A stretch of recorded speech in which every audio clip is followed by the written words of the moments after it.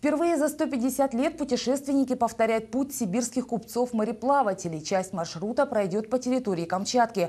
В рамках очередного этапа экспедиции «Байкал-Аляска» ее участники изучили особенности следования по акваториям Охотского моря и Тихого океана. Разведку проводили в течение недели и теперь разрабатывают маршрут.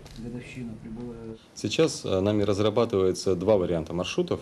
Один из маршрутов – это от порта, ну, то есть, если мы говорим про морскую часть путешествия, я думаю, что только она вам сейчас интересна.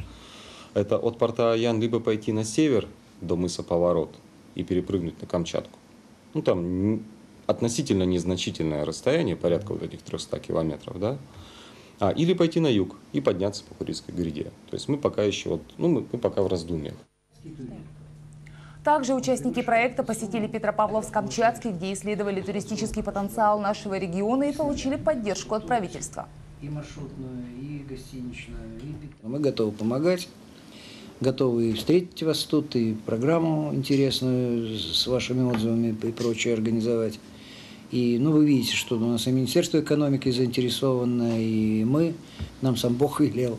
Да и правительство нормально, очень, так сказать, с вниманием смотрит, и я думаю, что уж чем-чем внимание вас не, не обделим.